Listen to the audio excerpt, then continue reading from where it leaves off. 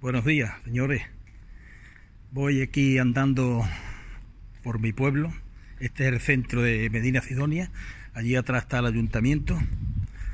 Y vengo de, llevar pan aquí a los restaurantes y le he hecho un cablecillo a mis hijos. Y esta mañana he puesto he puesto un vídeo. Buenos días. He puesto un vídeo de de mi pájaro misterio y digo eh, que, que, el pájaro me ha entrado de callao. Y por privado, pues me han dicho que qué es de callao. Hombre, un pájaro de callao es cuando mi pájaro está zumbando, dando pie, recibiendo, y el pájaro de campero entra de callao.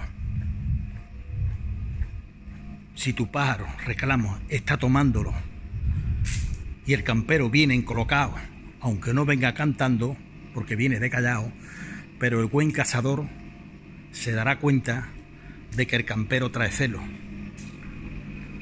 Entonces puede tirarle. Pero si tu paro está cantando, dando pie, piñones, y entra un campero que de callao, sin celo, que viene de careo, porque la mayoría entran de careo, vienen a curiosear extraño, y tu pájaro reclamo se calla la boca, se queda mirando, nunca se debe de tirar. Por lo menos yo hago eso. Porque se echan muchos pájaros a perder. Muchísimos pájaros, no nos damos cuenta. Porque ha entrado en plaza el campero. Si te quiere llevar carne para tu casa, tira. Nadie te lo impide.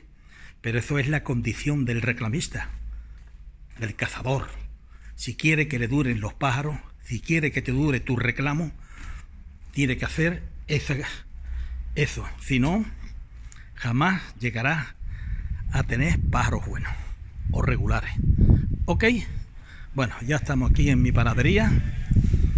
¿eh? Aquí estamos ya en mi panadería. Y deciros que hasta luego, Lucas. ¿Vale?